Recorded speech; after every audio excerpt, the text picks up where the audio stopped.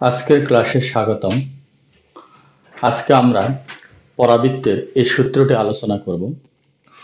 মূলবিন্দুকে উপকেন্দ্র এবং ওয়াই অক্ষকে পরাবৃত্তের অক্ষ বিবেচনা করে পরাবৃত্তের সমীকরণ, যাহা X square equal four A into Y plus A. প্রথমে আমরা একটি চিত্র অঙ্কন করতেছি। যেহেতু ওয়াই অক্ষকে অক্ষরেখা আমরা ধরব প্রথমে আমি এই ওয়াই অক্ষ নিলাম।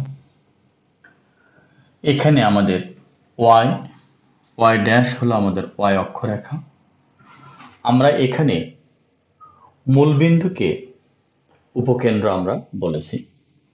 তাহলে এই বিন্দুটিকে যদি আমরা উপকেন্দ্র বলে থাকি S of zero comma zero মূলবিন্দুকে আমরা উপকেন্দ্র যদি আমরা বলে থাকি, তাহলে অর্থাৎ উপকেন্দ্রের স্থানাঙ্ক জিরো জিরো এখন আমরা এই দূরত্বটাকে শীর্ষবিন্দুকে যদি আমরা এ বলে থাকি, তাহলে S A equal Z A পরাবৃত্তের সংজ্ঞা মতে আমরা পাই জেড হলো আমাদের নিয়ামক রেখা পাদ পাদবিন্দু।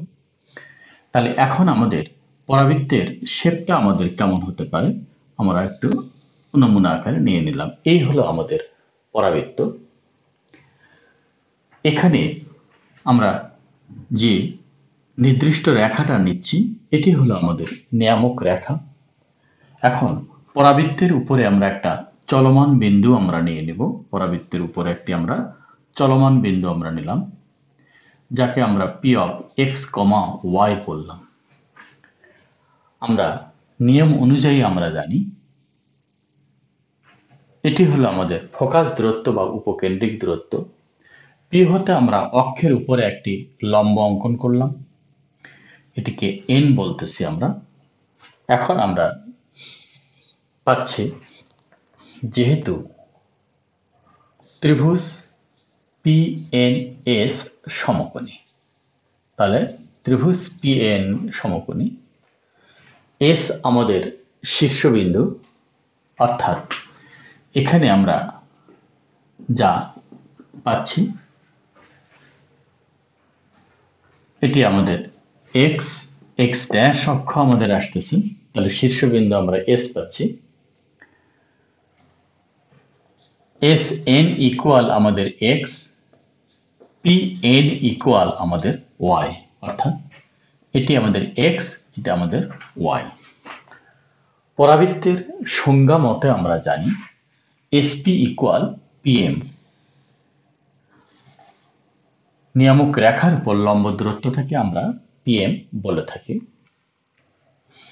আমরা নিয়ম অনুযায়ী পাচ্ছি, যেহেতু পিএনএস সমকোণী ত্রিভুজ, অতএব আমরা S P square equal S N square P N square বলতে পারি।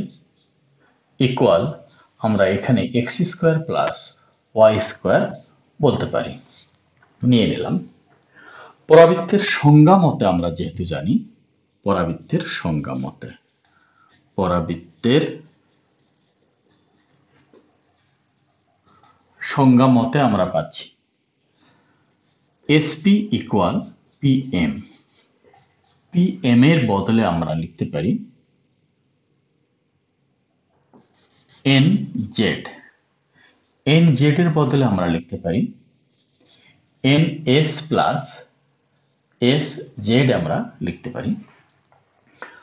পরাবৃত্তের সংজ্ঞা মতো আমরা জানি S A equal Z A equal a তাহলে এই দূরত্বটা যদি এ হয়, তাহলে শীর্ষবিন্দুর স্থানাঙ্ক নেগেটিভ দিকে আমরা পাচ্ছি মাইনাস এ কমা এখানে শীর্ষবিন্দুর স্থানাঙ্ক আমরা নেগেটিভ দিকে আমরা পাচ্ছি জিরো কমা মাইনাস এ আর নিয়ামক রেখার পাদবিন্দুটি আমরা পাচ্ছি zero comma minus two a আমরা পাচ্ছি।